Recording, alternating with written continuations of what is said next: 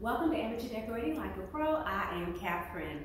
Here we are, guys. I am sitting in one of the chairs. See, I told you guys I was so excited about getting that stripe down the center of these chairs that I was willing to do whatever to get it done. And let me just tell you, it was not as hard as I thought it would be, but it was also a challenge for me because I didn't want to remove the armrest because that had to do with some specific little detail things that I would have to redo all over again, like applying this detail here in case I pulled the fabric too hard. And I did not remove the armrest. I removed the seat cushion cover. I removed the back of the chair. I removed, of course, this back as well, what I'm talking about. And then I just sewed that stripe down the center of all three pieces. And guys, here we are.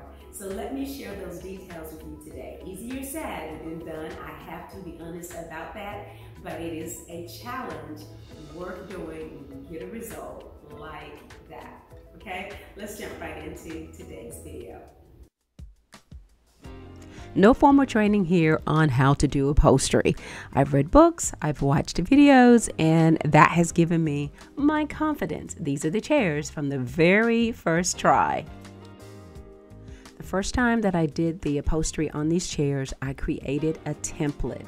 I folded it up and I tucked it away inside my upholstery tote. So this time around, it was really easy to take out these pattern pieces and just cut the fabric is storming outside and I wanted to really work on my project. So we're going to work right here in the living room. These chairs are not dirty, they're not dusty, so why not? I removed the dust cover. I removed as many staples as possible from underneath the chair uh, with my little mallet here assisting me with my staple remover. And I got it done, guys. And listen, if I didn't have to recycle any of this fabric, I probably would have just taken an X-Acto knife, a razor blade, or even um, a box cutter and just cut away the fabric around the staples and tap the staples in. I've gotten furniture pieces like that before, and it is a time saver. If you're not going to recycle the fabric, then you can just cut it away from the chair. What I am showing you here is along the side of the chair, underneath the armrest. You see that's that fabric that I want to get rid of in the seat cushion. There were some staples that were stubborn, they broke. Well, I just tapped those in and didn't worry about them so they would not scratch my new fabric going in or my hand. And also, guys, all I have to do is cut this away with the X-Acto knife pull it off, and that's it. And now I can place the new fabric. I really want to stress this part because it is a game changer and a time saver. You can do this along the front as well with an X-Acto knife. Just cut it away around those staples and tap them in. I'm not using wood filler. I'm not a professional upholsterer. This is my project and this is how I am loving on it. Removing the back panel where there is tacking strip was pretty easy. You see how I am using the teeth of the hammer to pull that away. I'm also wearing gloves to make sure I don't scratch myself, but it comes out pretty easy, guys. This is the original tacking strip, and I tell you, you'll never find anything else made like it. What's being made now is very flimsy. This is cardboard stripping on the back of the chair. It gives you that nice curve and crisp look at the top of your chair along the back, as well as underneath the arm of the chair. So that's how everything looks basically seamless. And once again, I need to recycle this fabric, so I'm going to remove the cardboard stripping. I labeled all of my recycled pieces first top, bottom, etc. Now, my new stripe is going to be around 8 inches wide, and that excludes the 5 8 of an inch seam allowance on both sides. I have declared this one day as cutting day. So I cut out both of the seat covers, the back, and everything I needed basically. And keep in mind, I do not go crazy with cutting all of these long strips along the side. I leave intact because I can use them to design the pillows that I want for the couch.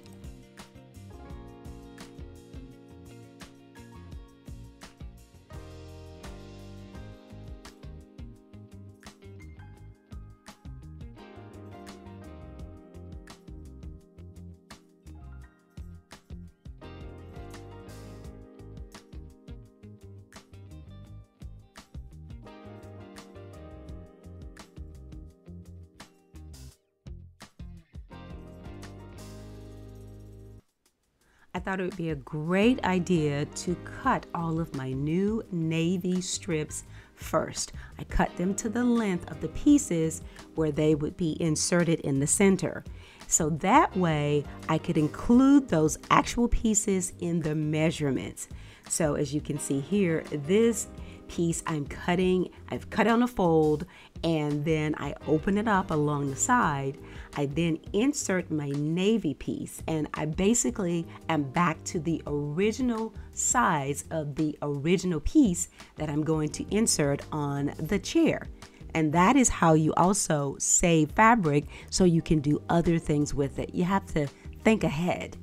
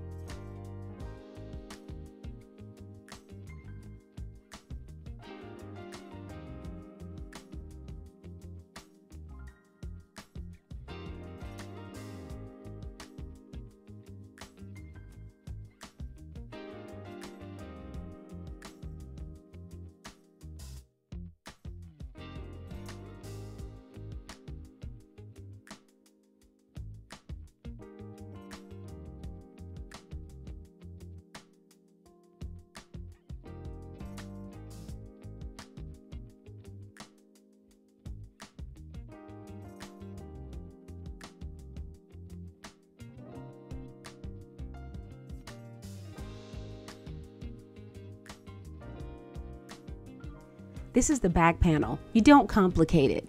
It's the original piece. We're recycling. All I did was cut it in half, insert my new navy strip, and then cut away the excess according to the original measurements.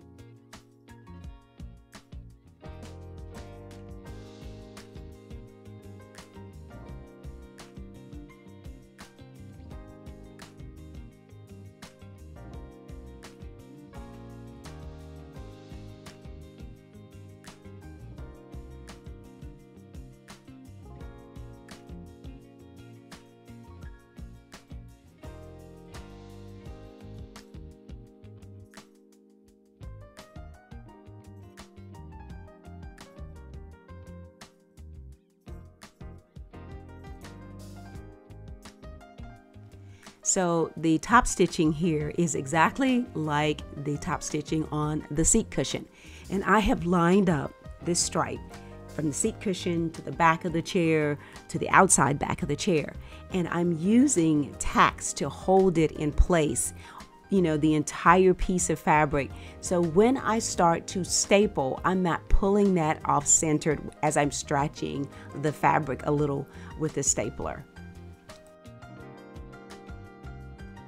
There are boards along the sides of the chair and along that front armrest. So I am marking those areas so that I can cut that fabric away from those areas and then I can just tuck it under inside the fold and you don't see it. And everything will still look smooth. I really encourage you to go back and watch the original video because I am kind of speeding this up a little bit because I've covered these chairs before. And I've got the fabric here, the seat cushion fabric here, and I am cutting away just a horizontal line because I know that there's a board there right at the point of those scissors and I know that there's one in the corner. So I've got this piece that I'm going to be able to pull through into that opening underneath the armrest onto the bottom of the chair and I'll be able to pull that tight. That mark that I'm going to make around the front part, lower part where my finger's going, that part is going to have to be cut in little bitty pieces and then tucked underneath itself around that corner. I did not want to remove the armrest because that was a lot of work before because I'd never done this and I certainly didn't want to reinvent the wheel eh, since I'm going to be using the same fabric anyway. So this worked out beautifully. I'm able to push it underneath and then make those little dart cuts a little bit later, which you're going to see. I pulled one of the seat covers off so you could see what I was talking about. You see in those little cutouts so it'll fit around that piece of wood. And here's the next part where you're going to make these little cut darts and be able to tuck them under, just fold them under themselves. This is not going to be perfect because I didn't film it. I don't know why. But in the original video, you'll see me do this but this is how you do it. Just cut around this because there's a board there and then make those little darts and you'll fold it under and you'll play with it until you get yours right. Just play with it. And I will say this, it's better to undercut than overcut. So I'm very cautious here.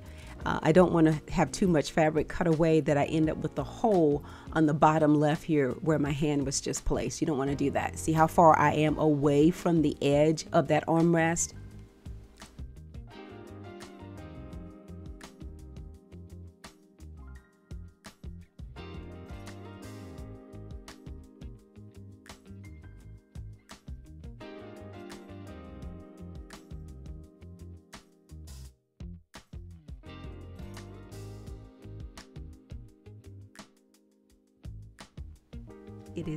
Easier to duplicate the same steps on both chairs at the same time because that way when you think of a quicker way to get it done it becomes easier and more efficient and a time saver.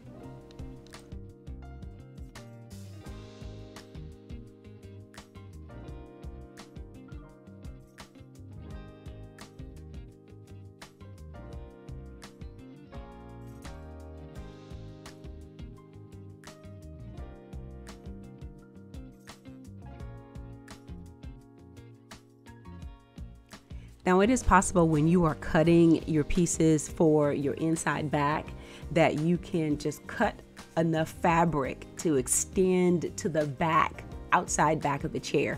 I don't like using the heavier fabric for this because I make it so narrow with foam and all of that that it's good for me to just add a little piece of poplin fabric like that brown fabric, hand stitch it, and then pull it through. It doesn't take up that much space.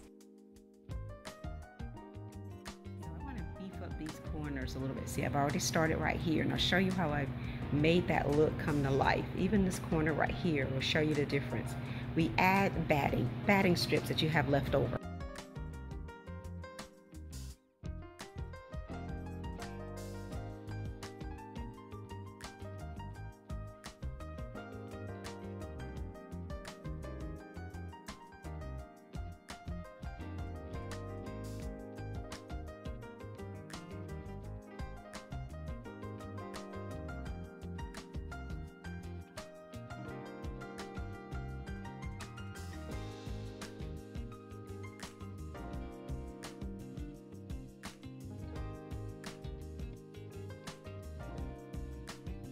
I've completed the sides of the chair so this is the perfect time for me to put everything back in place. I'm going to staple down the new cover for the seat along the sides and I'm also going to staple down the outer arm of the chair.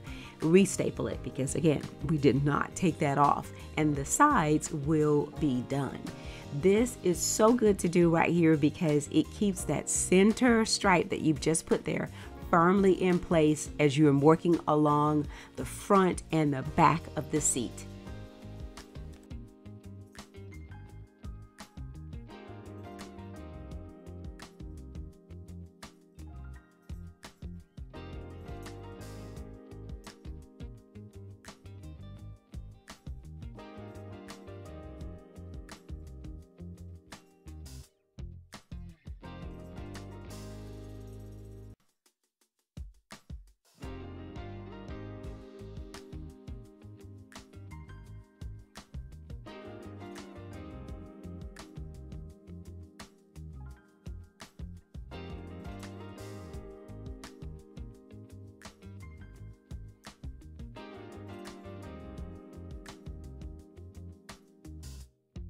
Now to complete the front of the chair, you want to come to the corner of that front left or right leg and you want to staple in at an angle and then pull the fabric over that stapled area, fold it back, and then you will add your glue to secure the fold. The staple secures it, but the glue holds that nice neat crisp fold that you made in place. Just a little hot glue. I made a mess of the very, very first one because my hot glue gun was just on a rampage. So, but anyway, just letting you know that you check your glue gun on something else before you just go ahead and put glue on your chair. I made a mistake and um, yeah, anyway, we get over it, right?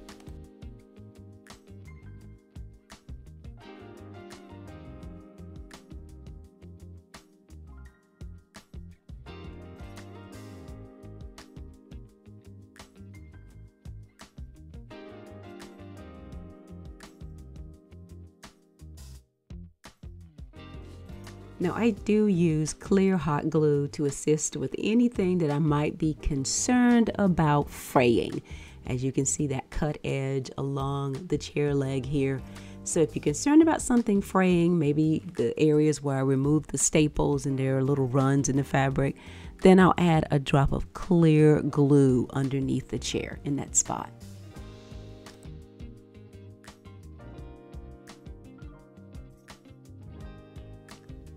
I am applying staples at a pressure of 60. 40 is not good, at least not for me and these heavier staples that I'm using. So I'm using a 60 pressure.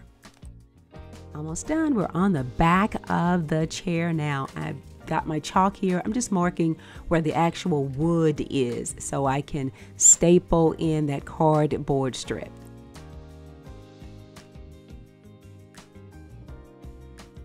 This time around, I applied the cardboard strip in pieces, not one long piece. It just made it easier to shape that area. And I cut away the excess fabric. Well, let's proceed with caution. We are applying that metal tacking strip. You see how thick this is, guys, and how sharp it is? Yes, please be careful. There is a flexible one that you can get on Amazon. I will link it in the description box if you're interested. And you stick this through the fabric underneath. But first of all, measure the edge, measure it to the edge of the fabric, and then you fold it inward toward the back. And you'll see me do it here. And then you use your mallet and gently hammer it in. And I'm telling you, it's very sharp. It's like a hundred little nails right here just doing the job for you. So you definitely want to make sure that, oh, your mallet, make sure that you cover it with something. Sometimes it'll leave those little black marks on it. Um, a Ziploc bag is great, or a piece of fabric wrapped around it, whatever you feel is best, but don't directly use the mallet on the fabric. I've done that before and I keep forgetting that it does leave a black mark. And I am now applying the metal tacking strip, putting on the outside back. You start on the left side to the right or right to the left, but you work your way down the back of the chair. And you want to try to keep the fabric equally distributed on both sides or evenly distributed. You don't want to have those little crinkles, but unfortunately, I do. This fabric has been stretching on the back of this chair for some years. It is repurposed, so it's already been pulled and having taken it off, I now see the result of that and begin stapling the fabric to the bottom of the chair from the center. I love these upholstery pliers. They help me so much.